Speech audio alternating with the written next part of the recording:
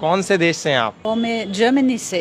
और अभी मैं लगभग 20 साल से वृंदावन में रहती हूँ। ऐसे कहा गया कि अगर हम भारतवास में जन्म लेते हैं ये बहुत उच्च जन्म है। अब एक प्रार्थना है मेरे साथ ये जप करो। हरे कृष्णा। हरे कृष्णा। हरे कृष्णा। हरे कृष्णा। कृष्ण कृष्णा। कृष्णा कृष्णा। हरे हरे। हरे हरे। हमेशा कथा सुनना ज़रूरी है। ये वहाँ पर विदेश में हम नहीं मिल सकते। हम सभी भारतवासियों के हृदय में भक्ति है। सभी इंडियन लोग धार्मिक है और ये बहुत महत्वपूर्ण है। साधु संग यम यम वापि स्मरण बबम चयाति अंति कले वरम तम तम एव इति कौंतया सदा भाव भावितः। हरे कृष्ण बोलते हरे कृष्ण।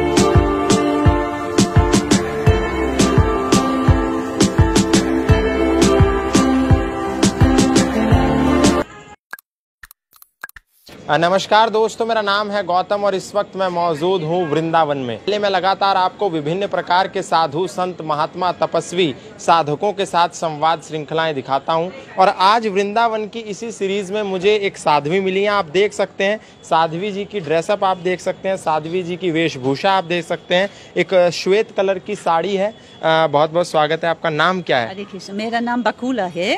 बकूला? बकुला। जी कौन से देश से हैं आप? और मैं जर्मनी से। जर्मनी से कितनी कितना समय हो गया भारत में? और अभी मैं लगभग 20 साल से यहाँ वृंदावन में रहती हूँ। 20 साल वृंदावन में आपको हो गए? तो 20 साल में आपका जीवन तो बहुत बदल गया होगा। हाँ बहुत बदल गया है। ये सब कृपा। कृपा। के, के माध्यम से संभव है। अन्यथा संभव नहीं है। और मैं गौड़िया वैष्णव लाइन में संबंधित हूँ। हमारे गौरंग महाप्रभु आपको मालूम है? जी जी जी। गौरंग महाप्रभु ये है खालयुग अवतार है। जी। और महाप्रभु इतने दयालु है सभी को प्रेम देते। देखो मैं इतने निकृष्ट देश से आ रही हूँ इतने पवित्र वृंदावन में रह सकती हूँ ये असंभव है। सिर्फ़ गौरांग महाप्रभु की कृपा से संभव है। और गौरांग महाप्रभु इस खाली युग में आए हैं प्रेम देने के लिए और स्वयं भी राधा भाव अनुभाव और स्वाद लेने के लिए। जी। और ये स्वयं भगवान श्री कृष्ण है। जी। सो कुछ चैतन्य महाप्रभु के बारे में सुनना और सीखना बहुत ज़रूरी है बहुत महत्वपूर्ण है। जी जी जी। और ये हरे कृष्ण महामंत्र जो आप जब गाते हैं जी जी जी। ये शक्तिशाली बनता है आपको मालूम नहीं है कितने शक्तिशाली है। जी। अच्छा 20 साल से आप भारत में या जर्मनी से आप आती हैं। तो आप देख रहे हैं दोस्तों साध्वी खुद कह रही हैं कि एक निकृष्ट देश से मैं आती हूँ। खुद साध्वी का कहना है कि जर्मनी एक निकृष्ट देश है और वृंदावन एक बहुत पवित्र स्थल है जहाँ वो जीवन यापन कर रही हैं। तो माता जी कितनी उम्र होगी अभी आपकी? ओ अभी मैं पचपन हूँ पचपन। पचपन साल की हैं। तो यहाँ तो आपने बहुत श्लोक मंत्र भजन सीख लिए होंगे।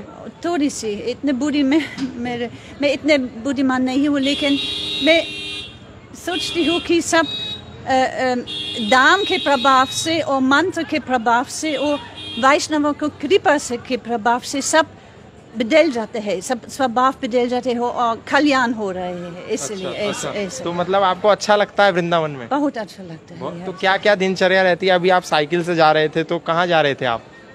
अभी मैं मत से आ रही हूँ हम मेरे मत से और मैं एक होम्योपैथिक डॉक्टर के पास जाती हूँ। अच्छा, अच्छा। इसलिए मैं यहाँ रात में चल रही हूँ साइकिल अच्छा से। अच्छा रात में साइकिल से। अच्छा कुछ भजन या कुछ श्लोक गुनगुनाएँगी हल्का सा हम्म, हमारे रूपा गोस्वामी की तिथि कुछ दिनों के बाद हो रहे है। रूपा गोस्वामी चैतन्य महाप्रभु बहुत प्रिय था प्रियतम था। और उन्होंने एक ग्रंथ लिखा। जी। इसमें एक श्लोक बहुत बहुत महत्वपूर्ण है। जी। ये श्लोक मैं अभी बता रही हूँ क्योंकि ये है सभी लोगों को मालूम है ये त्रिनारपि सुनिचना तरोरी व सहिष्णुना अमानिना मानादेना कीर्तान्य सदाहरी। सो इस श्लोक में बताया गया है कि मैं बहुत मतलब मेरे बाप बहुत अम, ऐसे मैं हमेशा अनुभव करना चाहती हूँ कि मैं निकृष्ट हूँ मैं उनसे नहीं हूँ। इस भाव में हम अच्छी तरह से भजन कर सकते हैं और हमेशा नाम जप कर सकते हैं। ऐसे रूपा गोस्वामी ने बता रहे हैं। भारत में आप वैसे वृंदावन में रहती हैं भारत में और कहीं भी जगह गई हैं धार्मिक स्थलों पर? पहले मैं बहुत देखा यहाँ पर। दक्षिण भारत में गए और हम जगन्नाथपुरी हम गए और नवद्वीप। लेकिन अभी मैं आठ साल से वृंदावन से बाहर नहीं गए। अच्छा आठ साल से वृंदावन के अंदर ही हाँ? ये मेरी इच्छा है कि वचवास हमेशा वचवास में करना चाहती हूँ। अच्छा तो पहले जब आपका जर्मनी में थे नाम दूसरा था अब क्या नाम बदला है या वही नाम है अभी भी? हाँ मेरे गुरु जी ने मुझे एक नाम दिया। क्या एक नाम? हम्म। मतलब एक आध्यात्मिक नाम ना जो पहले मेरे नाम अलग था जो माता पिता ने मुझे दिया और अभी मैं गुरु जी ने दूसरा नाम हम्म। क्या दिया अब क्या नाम हो गया आपका? मेरा नाम अभी बकुला है। बकुला। पहले क्या था? ये बारबारा ये एक जर्मन नाम है ना अलग है। बरबरा ये। बगुला अभी ये बगुला नाम है? बगुला या बकुला? बकुला बकुला। बकुला नाम। बकुला नाम अब आपका हो गया। अच्छा भारत की सबसे अच्छी चीज़ आपको क्या लगी? आपका 20 साल का अनुभव है यहाँ पर। सबसे अच्छी चीज़ यहाँ लोग कभी कभी हम देखते हैं कि लोग इतने अमीर नहीं